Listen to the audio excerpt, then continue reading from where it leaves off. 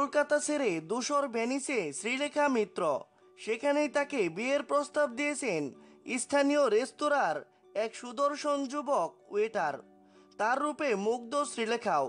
কেবল তাকে দেখেই এক প্লেট মাছ খেয়ে পাঁচ হাজার টাকা গচ্চা দিয়েছেন তিনি। অবশেষে কি মন গড়ল শ্রীলেখারও? তিনিও কি এই প্রস্তাবে রাজি? বিদেশ থেকে অভিনেত্রী জানিয়েছেন, মাথা খারাপ কুকুর নিজের মেয়েকে সামলানোর পর অত ছোট্ট প্রেমিককে সামলাতে পারব না। ও আমার মেয়ে আইয়ার প্রেমিক হওয়ার যোগ্য।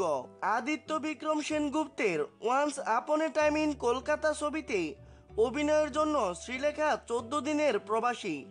ভেনিস চলচ্চিত্র উৎসবে আমন্ত্রণ পেয়েছেন এই ছবি। অভিনেত্রীর সুইজারল্যান্ড সফর শেষ। এখন তিনি ভেনিসে সাতে সেপ্টেম্বর সেখানে দেখানো হবে আদিত্য বিক্রমের ছবি। শ্রীলেখা জানিয়েছেন, এই দিন তিনি রেড কার্পেটে হাঁটবেন। তার আগে তিনি ঘুরে ফিরে দেখবেন সুন্দরী শহরকে। ঘুরতে ঘুরতে গতরাতে তিনি খুঁজ পান এই রেস্তোরাঁর অভিনেত্রীর কথায়।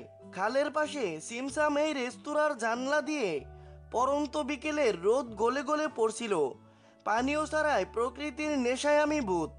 এরপরেই তার সামনে এসে দাঁড়ায় ওই সুপুরুষ যুবক। গল্প করেন শ্রীলেখার সঙ্গে। বিয়েরও প্রস্তাব দেন তিনি। বলেন, তিনিও রেস্তোরাঁর কাজের পাশাপাশি মডেলিং করেন।